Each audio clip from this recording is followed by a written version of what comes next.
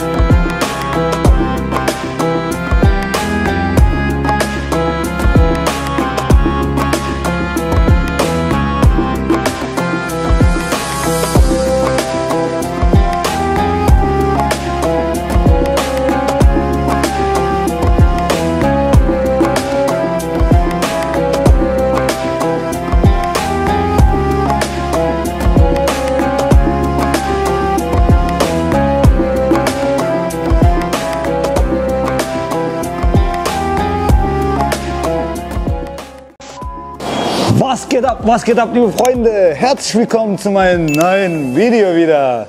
Und zwar, es ist so lange her, dass ich das letzte Mal wieder Video hochgeladen habe. Das waren mindestens zwei Wochen, liebe Freunde.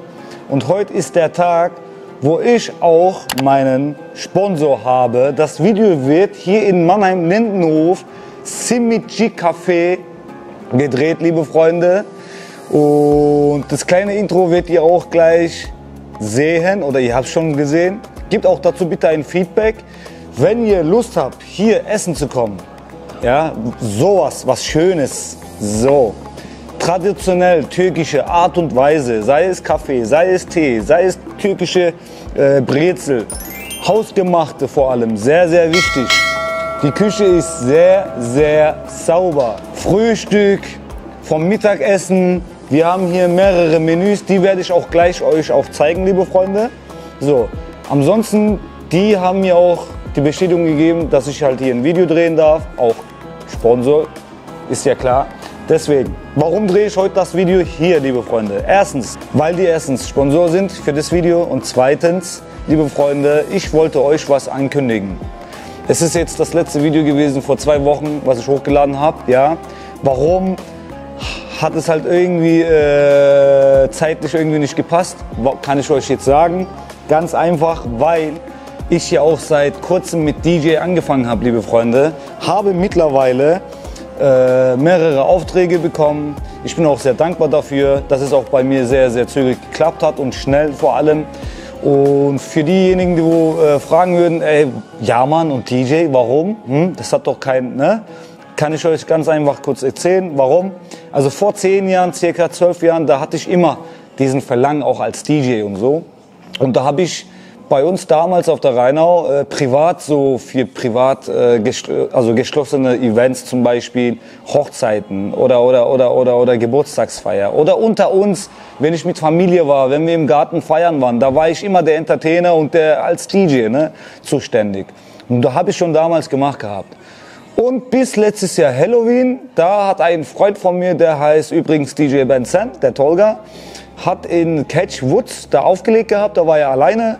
Und an dem Tag hat es halt angefangen, weil ich sollte den kurz ablösen, weil er kurz irgendwo ins WC gehen musste. Und seitdem äh, habe ich halt dann die Kontrolle gehabt, halt übernommen, ein paar Songs abgespielt und hat mir wieder, die alten Erinnerungen sind mir wieder hochgekommen. Das heißt, äh, ich habe gemeint, ey, warum nicht? Da hat mein Freund gemeint, warum machst du es jetzt nicht? Und deshalb dachte ich, ich mach's, ich fange an. Was ist am nächsten Tag direkt mit meinem Bruder zusammen äh, sind wir hin. Repograf an der Stelle, liebe Grüße gehen raus an Repograf. Ihn abonnieren, nicht vergessen, liebe Freunde. Und auf jeden Fall könnt ihr auch natürlich den DJ Benson abonnieren. Und auf jeden Fall, ich habe mit Repograf geredet, dies, das, tralala, ey Bruder, sollen wir, sollen wir nicht. Was ist der so, Bruder, schlag zu. Bam. Zack, schon war der Mischpult da, also Controller von Denim Prime übrigens. Manche legen mit Pioneer auf, manche mit Denon und so weiter und so fort. Und ich lege gerne mit Denon Primer auf. An der Stelle kann ich nur weiterempfehlen für DJs, die neu anfangen oder Anfänger sind oder je nachdem. Denon Prime, all in one, da macht ihr nichts falsch, liebe Freunde, auf jeden Fall. So, und von der Preisklasse her, zwischen Pioneer und Denon ist dasselbe. So, also circa, circa 2.000 bis 3.000 Euro müsst ihr hinblättern. So, für einen äh, guten Controller. So, genau, erstens dazu. Deswegen kam ich leider mit, der, mit, mit YouTube-Videos nicht voran. Warum? Weil ich Flyer machen musste für meine Aufträge, weil ich Aufträge reinnehmen musste, weil wir jetzt auch seit kurzem noch ein Tonstudio haben, seit drei Monaten, All-in-One-Studio in äh, Ludwigshafen, liebe Freunde. An der Stelle, liebe Grüße gehen raus, obwohl ich eigentlich der würdige Monomer bin, das wisst ihr. Ja, Mann! Aber wir haben uns halt in der goldenen Mitte getroffen mit Repo Kraft zusammen und, und, und, und, und Tuna RL ist auch mit dabei, Tuna AB. Auf jeden Fall, liebe Grüße gehen raus. So, wir sind zu dritt. Ein Musiker, to, äh, Produzent und so weiter und so fort, ein DJ, YouTuber und äh, der Allrounder und Repokraft genauso. Weil Repokraft und ich, wir sind ja da ne, identisch. So, auf jeden Fall, liebe Freunde, erstens wegen sowas. So, und viele von euch haben jetzt gefragt, hey, ja Mann, wir haben jetzt, äh, aktuell haben wir gerade hier in Mannheim eine äh, neue Messplatz, ne? Da ist die Messe eröffnet wieder. Und ich bin ja jedes Jahr, seit vier Jahren schon, seitdem ich mit YouTube angefangen habe, äh, immer auf der Mannheimer Messe gewesen. Videos zu drehen mit Repograph zusammen. Und jetzt, die Tage werden wir auch wieder dort sein. Da kommt auch ein extra Challenge. Also bleibt auf jeden Fall auf meinem Kanal, liebe Freunde. Mehr oder weniger haben auch mich deabonniert, alles schön und gut, ist auch verständlich. Warum? Äh, wenn ich auch ein äh, Supporter bin und je nachdem und ich warte von meinem YouTuber oder von meinem, von, von meinem Vorbild zum Beispiel ein paar Videos in der Woche und es kommt einfach zu wenig, dann würde ich auch den Kanal ehrlich gesagt abonnieren. Da habe ich gar keine äh, Befürchtungen, liebe Freunde. Also ich bin auch nicht böse oder so. Ne? So, auf jeden Fall.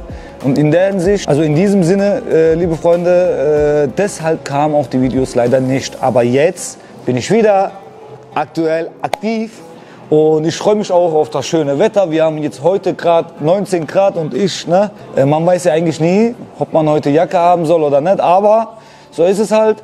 Und deswegen, äh, falls ihr, egal was für Videos ihr haben wollt, kommentiert mal an der Stelle bitte. Und wer weiß, vielleicht suche ich mir da ein paar schöne äh, Ideen daraus und drehen das ab. So, und Repokaf und ich, wir haben auch eine sehr schöne äh, Projekt überlegt. Das ist aber ein riesengroßer Projekt.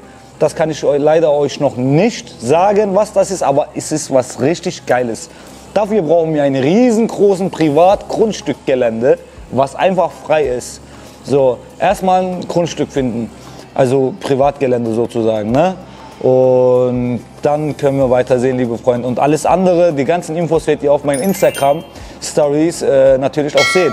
Wo ich auflege, was für Videos ich drehen werde, wann Videos erscheinen, kommen und so weiter und so fort. Aber jetzt kommen wir zu das Wichtigste. Warum ich heute eine Ankündigung machen möchte und weshalb, wieso? Ganz einfach. Ich habe vor zwei Jahren meinen eigenen ersten Song äh, fertig gemacht, liebe Freunde. Fertig aufgenommen und fertig produziert. Clip ist noch nicht da natürlich. Clip habe ich aber auch vor. Das werde ich aber euch auch erwähnen, äh, erst ab wann. Und zwar, ich habe jetzt vor, dass ich diesen Sonntag diesen Sonntag mein eigene erste Single raushaue, liebe Freunde. Ich bin übelst gespannt, übelst aufgeregt. Ich weiß nicht, wie dieser Song euch rüberkommen wird. Ich hoffe, es gefällt euch. Und falls nicht, ist auch okay. Es ist ja jedem seins äh, irgendwie überlassen. Jeder hat einen anderen Geschmack. Und, aber mein erstes Single kommt jetzt raus. Und viele jetzt werden sagen, ja, bist du jetzt ein Rapper geworden oder so. Nein, ich bin kein Rapper. Ich bin einfach ein Entertainer, ein Künstler. Ja? So, ich versuche euch zu animieren, zu entertainen. Das ist meine Arbeit sozusagen und ich liebe meine Arbeit. Das ist das Wichtigste vor allem. So, und jetzt das Beste ist noch, der zweite Song ist auch schon fast fertig. Der zweite Song ist auf Deutsch und auf Türkisch und auf Arabisch, liebe Freunde. Der erste Song, was ich raushauen werde, ist komplett auf Türkisch. Aber eins kann ich euch schon sagen, richtig, richtig zum Updancing. So richtig Dance-Song äh, ist das, liebe Freunde.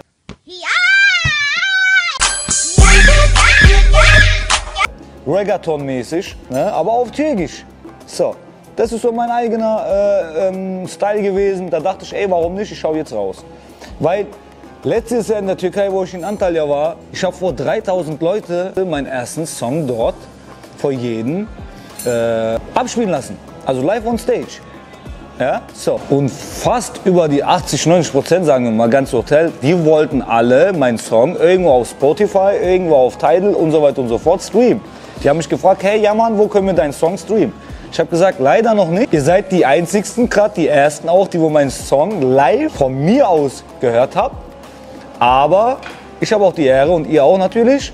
Aber sobald ich in Deutschland wieder bin, werde ich meinen Song veröffentlichen.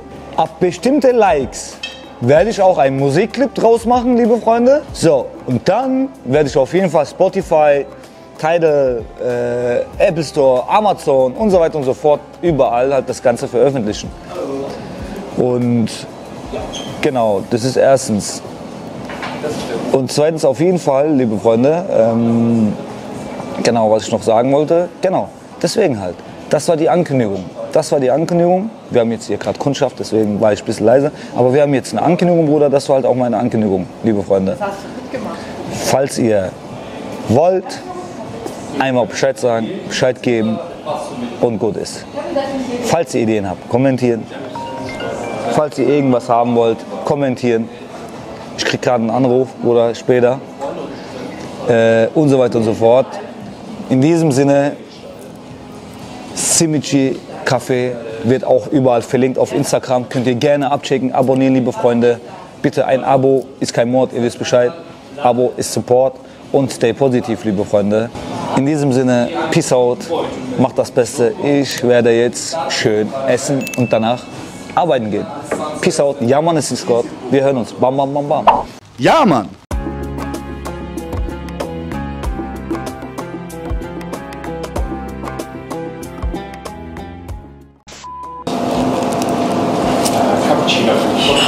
Also. Ja. Ist das so? Also, türkische Brezel, ganz einfach. Ist mit Sesam, liebe Freunde. Schön mit Sesam. Dazu Eier, türkische Sucuk, Paprika, schmeckt am besten. Schmeckt super. Ein El Clasico, türkische Brezel, ist nur mit, nur mit Sesam. Nur mit Sesam. Ne? Mit türkischen Chai. Boah. Und gib ihm. Das schönste Gewöhn, geschmackshaftste je überhaupt. Kann ich euch nur empfehlen. An der Stelle vielen lieben Dank fürs Zuhören, für die ganzen Aufmerksamkeit, für die ganzen Support von euch, liebe Freunde. Äh, ich werde jetzt auf jeden Fall auch auf YouTube natürlich aktiv sein. Ich, ich meine, oh mein Gott, das sind gerade nur zwei Wochen her, wo ich das Video hochgeladen habe. Aber ab jetzt jede Woche ein Video. Nicht vergessen, liebe Freunde. Zwei davon sind auf Deutsch und zwei davon sind auf Türkisch. Und in diesem Sinne, peace out. Ja, Mann, es ist Gott. Wir sehen uns. I love you tonight. Und Dankeschön an Simici Café Mannheim Lindenhof. Vielen lieben Dank. Grüße gehen raus. Dankeschön. Peace out. Ciao, ciao.